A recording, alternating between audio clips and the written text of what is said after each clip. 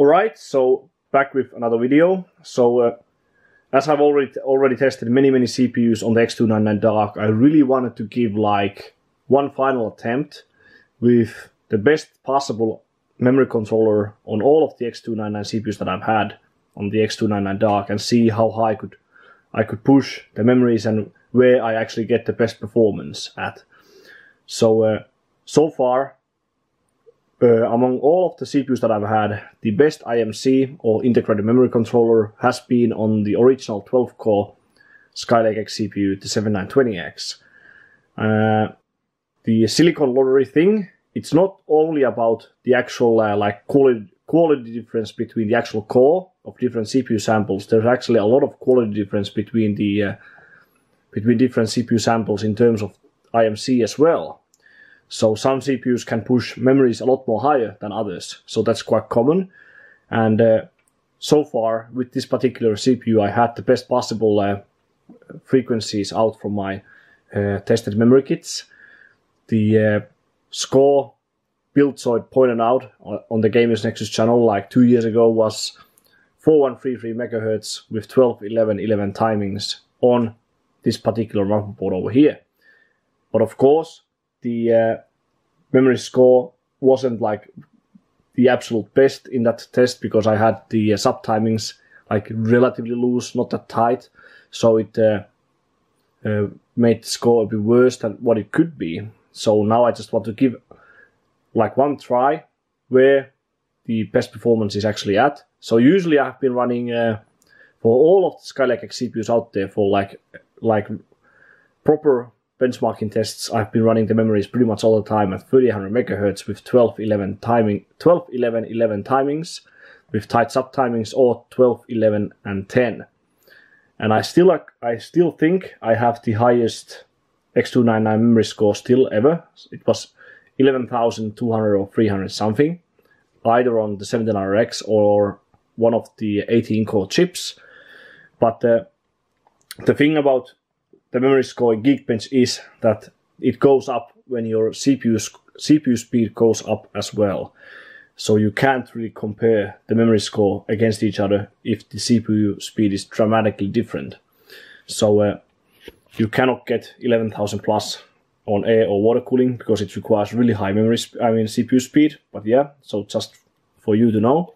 So on this test, the uh, for this testing, the rig is pretty much the same as with 10980XE, so uh, 12 core Skylake X, 4 sticks of Samsung B-Die, 2, two sticks of 4133 Cas19 Trident Z, and uh, the naked sticks are 3600 Cas17. So uh, 32 gigabytes, this combination seems to work quite well. Galaxy 710 GT, SuperFlow 2000 watt power supply, and custom water cooling loop with parked custom IHS on top of the CPU, although I'm, I will not be testing the CPU the absolute max this time, so it doesn't really matter. But yeah, so without further ado, let's get started. Alright, so here I'm in the BIOS, so uh, just I will use just quite safe 48 uh, CPU core multiplier and 33 on the mesh. Uh, I've disabled extreme cooling mode, but yeah, 1.9 input, 1.3 V core. Actually, I will drop that to 1.25 just to uh, save some heat. 1.35 on the mesh. Same on SA and IO and uh, plus 400 on the uh, internal memory controller offset. And I will start with the memory settings I was so close on passing with the 10980XE so 3800 12 10 9 24 and tight sub timings. I will I just want to see straight from the get-go that is this stable. Just purely out of interest.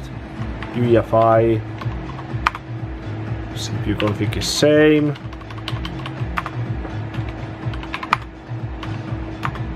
I will change this to CPU VRM this is actually one my safe LN2 profile.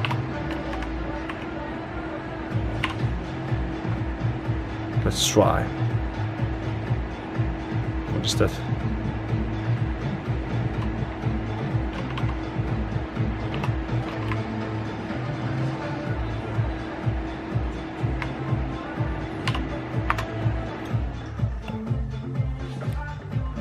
Alright, so now in the OS we can open CPU-Z and Geekbench 3. So let's, just purely out of interest, let's see. 12, 10, 9. I, I up the uh, TRFC to 200 just for this purpose now. I will keep core temp open to follow the temperatures. So it's running. Temps. Okay, so maybe the uh, the uh, TRCD limit is stick based, so we can try other combination instead. So uh, well, yeah, TRCD of 10 is quite hard, even at 3800. So uh, could be just the sticks, but yeah. Okay, so that is a very fast score in uh, Geekbench 3 at 4000, 12, 11, 11, and 28 TRAS. So I I uh, loosened a bit and just started. So uh, this isn't easy on many uh, Skylake X or newer CPUs. So I will I will try to lower this now a bit. There's no 4133 multiplier, so the next multiplier is actually 4200, and it's very hard to post, as you would guess. But so, for, for now, 4000, not that impressive memory score, actually 10,165, so it's behind uh, uh, what I got with the 10980XE, so let's try a bit more. And here I have uh, the same memory frequency passed in the Geekbench 3 but with timings of 12, 11, 10, 28, 240 and tight sub timings but the score still isn't that like epic only like 10,200 so still uh, almost 300 points behind the Cascade Lake X at 3800 so uh, it's not just about the uh, raw frequency and main timings. So uh, it's good but I you could expect better if you ask me. So let's see. Okay, I might try uh, 4200 or something similar next. Okay, this is quite nice to see. So now I actually booted into the operating system at 4200, 12, 11, 11, 28, TRFC 280. Most of the third timings are at auto. So uh, this is not very efficient at all. I just want to see uh, like how high I can I, could actually push the main timings, but they aren't all. So uh, it doesn't matter if the uh, frequency goes up a lot, if the overall performance and efficiency comes down dramatically. So uh, that's why it's best to find the sweet spot where you can uh, tighten most of the sub timings and main timings, where you don't have to sacrifice too much frequency. I'm sure this will crash. There's no doubt about it. It will not pass. So yeah, now it crashed. So very like barely goes to the operating system, but doesn't matter. Was nice to see anyways.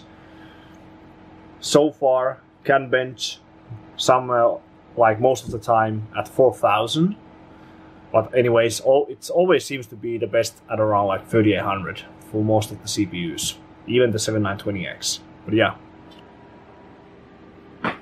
Here we have the score so it's not that good. Score of 10,021. At uh, well, the main timings are good, but I, I'm not sure what is the limit, limiting factor for the score. So the timings are 11, 11, 11, 28, 240 at 3800. So CAS 11 seems very good. 2 volts, spot on on the memory. And there's definitely enough memory for this test in the system, so uh, I've typed 8000 in Microsoft config. So yeah, 10,021. Of course, it always goes up. It always goes up with uh, CPU speed. So when you run CPU on LN2, when the frequencies are much higher, the memory score goes up a lot, like 1,000 points. So the best ambient result so far has been the uh, well, almost 10,500 on the 10980XE. So I will show these settings, what I just passed. 3800, 2 volts, 11, 11, 11, 28, 466, 49. And then uh, quite good on the sub timings. So I will I will try we'll try a little bit tighter over here. See how it goes. 12 on for active window. Save and exit. And here I have a passed score at 3733 megahertz with uh, 11, 10, 10, 28, 180 common rate 1 timings. And all of the sub timings are pretty much as tight as possible, like 4 active window of 12, really tight third timings and so on. And the score is only 10,075. So it's really all of the attempts I try to do, the overall gain is like pretty much nothing compared to the sweet spot timing configuration at 3800, 12, 11, 11. So really I don't see uh, like any point on trying to uh, go for any other combination than that. You can go for 4000, maybe even above 4000, 12, 11, 11, but often you have to sacrifice many of the sub timings and your overall performance will just go down. So uh, just saying.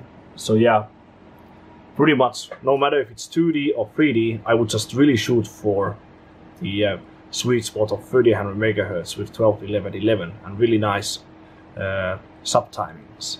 I have shown my timing table many times already on a few of the videos, so uh, you get the idea, I think. And this is the uh, profile I've used the most. So 3800, 12, 11, 11, 26, 240 and uh, the uh, sub-timing table I've showed many times. And it's really so that the score doesn't really matter. I mean, the score doesn't really differ like almost at all. So no matter if the memories are at 3800, 12, 11, 11 or 3733, 11, 10, 10 or 4000, 12, 11, 11 or above 4000, the uh, differences in the memory score are very, very small the higher you can get your CPU, the higher the CPU, the higher the memory score.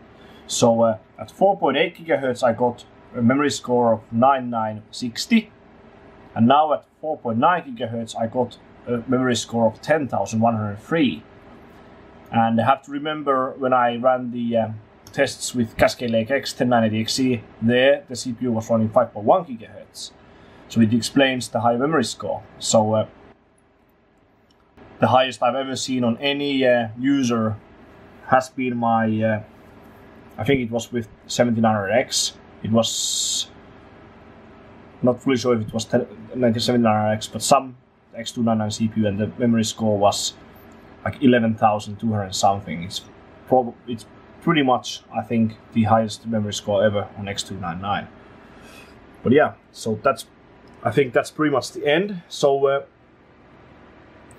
if you are if you want to run any like really tough like benchmarking or overclocking on X299, really just test out and see what works the best for you.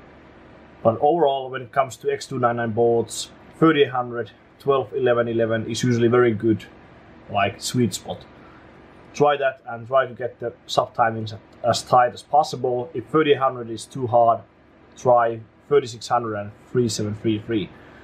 For, ex for example, when looking at many of uh, Splave's top scores with uh, X299 CPUs, he often just runs the memories at 3600 only.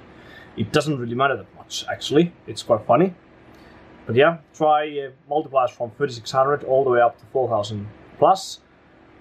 If you get good uh, performance at 4000 or even above that, then of course, of course that is good. But at least based on my testing, 3800 is really, really, really nice. On uh, 3647, many motherboards you have to go a bit lower on the memory frequency with all six memory channels. But yeah, so that's the end. So if you like to see these results with X299 Dark, then please give a thumbs up and uh, subscribe to my channel and I will see you next time.